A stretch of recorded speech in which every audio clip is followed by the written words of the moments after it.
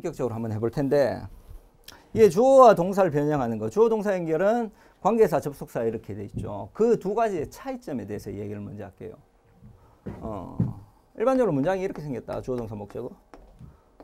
주어 동사 목적어 이렇게 생겼죠. 근데 어, 주어 동사를 하나 더 연결하고 싶어. 목적이 있어도 되고 없어도 되는데 뭐 쓰겠습니다. 그래서 딱 이걸 그대로 이어붙이면 그대로 이어붙이면 뭐뭐다가 두 번 나와. 이게 본동사 두 개이기 때문에 안 된단 말이에요 문장이. 그러다 보니까 이거를 다로 끝내지 않게 해서 뭔가 장치를 해줘야 돼. 장치를. 그런데 주어 동사 연결은 뭐로 한다? 변형은 관계사 혹은 접속사 이렇게 하면 돼. 얘가 주어 동사 들고 나올 거고 얘가 주어 동사 들고 나올 거니까 자연스럽게 한 문장이 되는 거죠 이렇게. 근데 여기에서 어떤 때는 관계사를 쓰고 어떤 때는 접속사를 써. 이게 무슨 차이가 있는 거냐면 이거 아무것도 아니에요. 이 앞에 문장과 뒤에 문장이 뒤에 문장이 어떤 관련성이 있어. 그러니까 관계가 있다는 거야. 관계가 있다는 거지. 관계가 있으면 관계사를 쓰게 됩니다. 관계 있으니까 관계사 쓰는 거야. 앞에 문장과 뒤에 문장이 관계가 없어. 관계가 없다. 그러면 접속사를 쓰는 거예요. 그냥 이어붙인 거야. 그냥 접착제, 접착제. 접착제.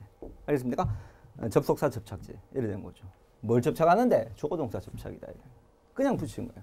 관계가 있으면, 관계가 있으면 뭔가 관계를 맺어주는 작업을 해야 돼. 뭔가. 이 뭔가 메커니즘이 있다고. 관계를 맺어주는. 알겠습니까? 그래서 이 둘의 차이가 있어. 두 가지. 근데 이 차이 때문에 관계가 있고 관계 없고 이게 이 차이 때문에 공부 방법이 좀 달라져요. 이게 상당히 논리적으로 돼 있어. 이 만드는 데 있어서 뭔가 메커니즘이 작동한다고 그랬죠. 이 관계가 있다 보니까. 그래서 이 상당히 논리적이에요. 그리고 많은 문법 용어가 있는데 그 문법 용어들 전부 다 그 메커니즘 속에서 만들어진 거야. 예. 그래서 뭐 주격 관계 대명사다 이런 문법 용어 어려워하는데 사실은 그거 알고 보면 알고 보면 자연스럽게 돼. 자연스럽게. 이 논리만 알면. 논리만 따라가다 보면. 아무 때나 만들어진 용어가 아니에요, 사실은. 그러니까 뭐 문법 용어 몰라도 되지만 상당히 논리적이야, 얘는.